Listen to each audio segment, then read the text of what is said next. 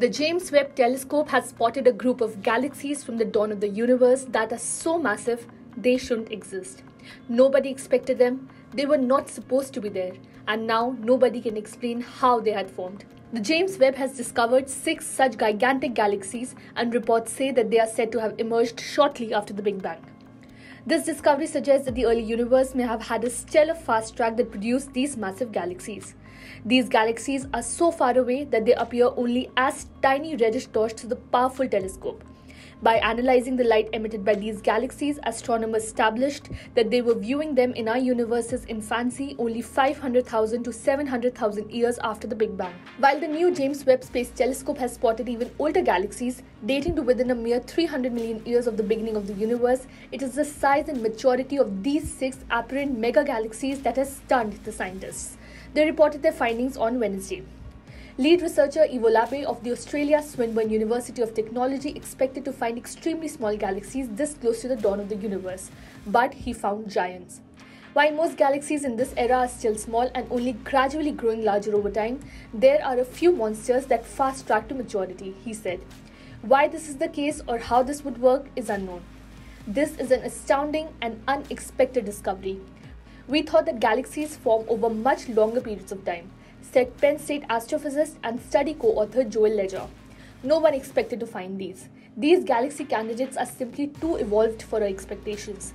They seem to have evolved faster than allowed by our standard models. Leja referred to these galaxy candidates because further observations were needed to confirm that they all were galaxies rather than other source of light such as a supermassive black hole. The exciting part is that even if only some turn out to be massive galaxies, these things are so massive that they alone would append our measurements of the total mass in stars at this time. It would suggest 10 to 100 times more mass in stars existing at this epoch than expected and would imply that galaxies form way, way faster in the universe than anyone thought.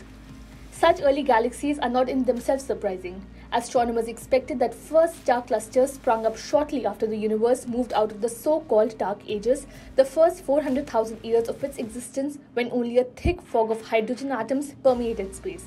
But the galaxies found in the Webb images appeared shockingly big, and the stars in them too old. The new findings are in conflict with the existing ideas of how the universe looked and evolved in its early years and don't match earlier observations made by Webb's less powerful predecessor, the Hubble Space Telescope. The galaxies appear to contain mass equivalent to 10 billion or 100 billion times that of the Sun, with the 100 billion times figure being similar to the Milky Way's mass. Galaxy formation after the Big Bang has been assumed to be dependent on dark matter, an invisible matter that has a gravitational influence on normal matter. The $10 billion James Webb Space Telescope launched to a gravitationally stable location beyond the Moon's orbit, known as a Lagrange point, in December 2021.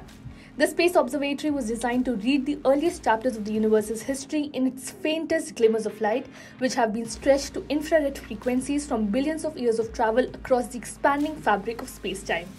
The astronomers say the next step will be to take a spectrum image of the giant galaxies, providing them with accurate distances and a better idea of the chemical makeup and anachronistic monsters hiding at the beginning of the universe.